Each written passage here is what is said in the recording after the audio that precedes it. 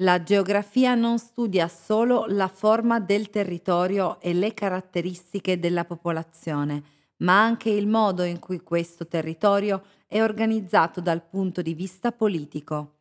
La geografia dunque si occupa anche degli stati. Ma che cos'è esattamente uno Stato?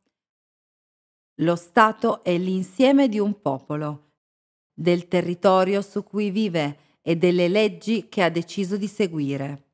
Il territorio dello Stato è la parte di superficie terrestre delimitata dai suoi confini.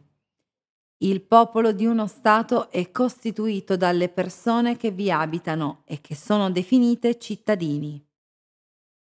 La cittadinanza si ottiene per nascita, in Italia solo se almeno uno dei genitori è cittadino italiano, oppure in seguito al matrimonio con un cittadino o grazie alla prolungata residenza nel paese.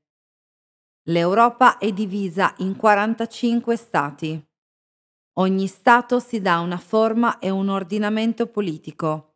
Per quanto riguarda la forma, possiamo distinguere tra Stati unitari e centralizzati, come la Francia, o Stati federali, come la Svizzera e la Germania, che riuniscono Stati o regioni dotati di poteri autonomi con parlamenti e governi propri.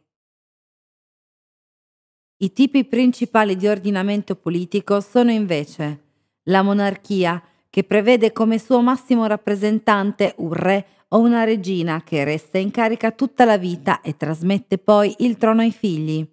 La Repubblica, in cui tutti i rappresentanti sono eletti e rimangono in carica per un periodo prestabilito.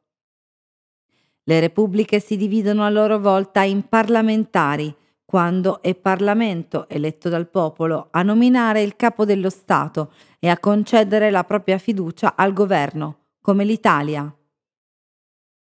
E presidenziali o semipresidenziali, in cui il Presidente della Repubblica è eletto direttamente dai cittadini ed è anche il capo del governo, come la Francia.